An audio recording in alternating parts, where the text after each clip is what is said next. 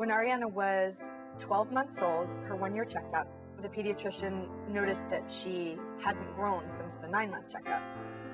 When we'd bathe him in the tub, you know, we would notice that his belly was distended.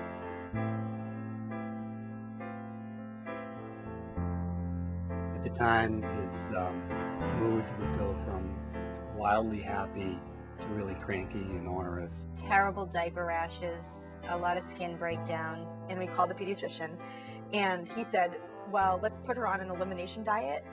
So the first thing we tried was just to feed her a few foods. Of course, one of the foods was just plain saltines, which we now know had wheat in it, and that was making the problem worse. But we limited her to a few foods and tried to write down every time she threw up what she ate every day.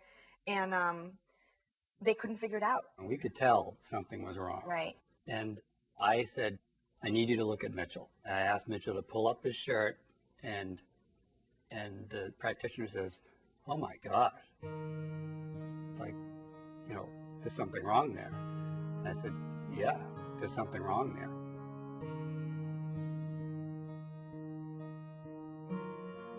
You know, I I'm a nurse, so I said, you know, I I think I've heard about something like that when in nursing school, but I couldn't tell you what it is. I have no idea what it is. But I had never heard of celiac disease or gluten. Yeah. Never heard of anything. I didn't like know that. any details about it. Celiac and cystic fibrosis were sort of the leading um, candidates for her disease. They uh, took some blood work they'd actually done a few days before and uh, determined that in fact she had celiac disease. That was the worst thing that had ever happened to us, and it was it was very uncomforting. It was not comforting at all to hear people say, "Oh, that's not so bad," you know, because to us it was really bad. It was very hard. It was very emotional.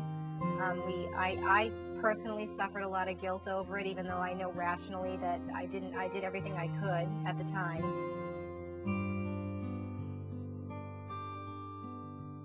It just was extremely overwhelming. I remember sitting down at the kitchen table and crying, thinking, "What am I going to feed him? And and if I do it wrong, I'm am I poisoning him?" At the beginning, it does seem really hard to figure out what has hidden gluten in it and what doesn't, but that it really gets easier over time, especially as you build up your knowledge.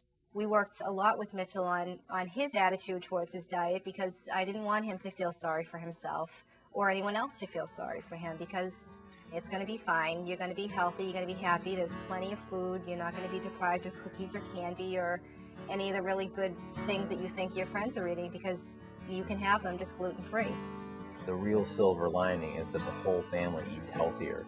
You're more likely to have broccoli, chicken, and rice rather than just ordering a pizza.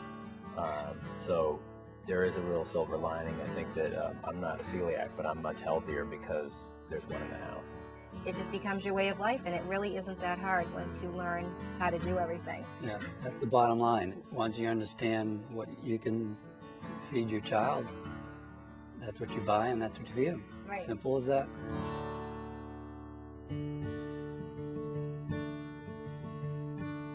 Within a week after Within a week, taking the gluten out of his diet, he was a completely different child. you Ariana gained three pounds in three weeks as soon as she was on the gluten free diet, and she never threw up again. Not once.